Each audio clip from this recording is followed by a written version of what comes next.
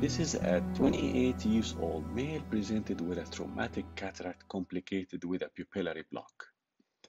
Intraocular pressure is 40 plus millimeter mercury despite of maximum anti-glaucoma medication. The patient has renal failure and was on dialysis, so intravenous mannitol before the surgery was not a valid option here.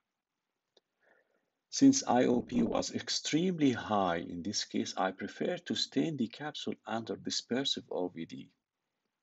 Staining under air won't be the right choice as the air bubble won't stay inside the anterior chamber because of the back pressure, I believe. So I started the surgery by doing a single small paracentesis just enough to pass the OVD cannula, then dispersive viscoat OVD injection don't have any financial interest.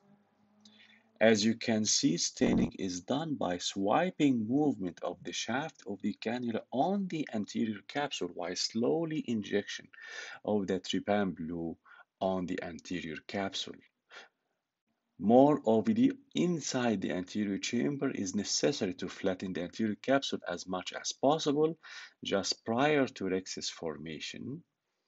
And now you can recognize how high the back pressure marked by the egress of the OVD from the anterior chamber. In this particular case, I prefer to initiate rhexis by puncture of the anterior capsule with a 27 gauge needle bevel down and immediate aspiration of the liquefied cortex as much as I can to ease the tension inside the capsular bag. Now you can notice how the pressure inside the capsular bag is reduced by aspiration of the liquefied cortex. You can see we have here a radial tear, which I believe would have extended to the far periphery if I didn't aspirate this liquefied cortex. Injection of more dispersive OVD trying to counter effect the back pressure by pupillary block now the next step in the rhexis is to hold the capsule close to the peripheral edge of the radial tear, which was reasonably in the mid-periphery thanks to the aspiration of the cortex. I always take care in these cases to start a relatively small rhexis and enlarge it gradually in a spiral fashion till I reach a reasonable size you can see I'm doing a very small motion rhexis and now the size I think is reasonably for phacoemulsification. Never hesitate to re-inject OVD every time it is needed and try to keep the anterior chamber as deep as possible to have a reasonable control of the direction of the tear during rhexis formation more OVD injection to keep the anterior surface of the lens capsule flat. And take your time in these cases. You may need to use a generous amount of OVDs during the step of rhexis formation.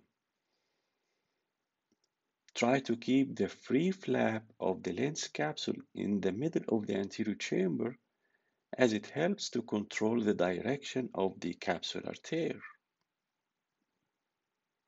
Take your time. There is no need to hurry in these cases. Slowly enlarge the rhexis until you reach the size you are satisfied to work with.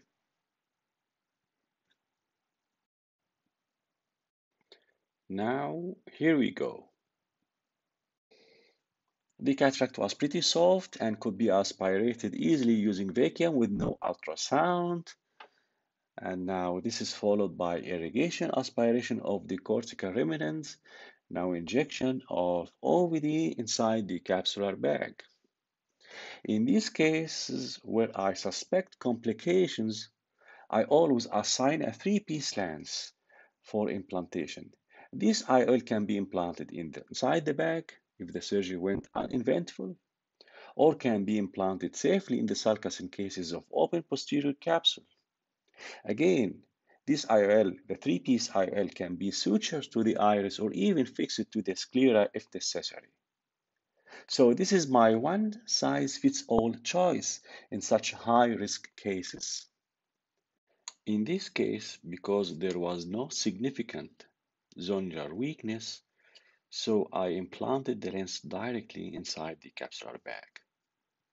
Otherwise, I would implant it in the sulcus with optic capture in cases of mild zonular rupture or weakness. Now here is the main incision was too short, so I'd like to take one stitch of 10-0 nylon. This stitch won't harm at all. And now finally, irrigation aspiration and stromal hydration of the wounds before conclusion of the surgery. Thank you for your attention.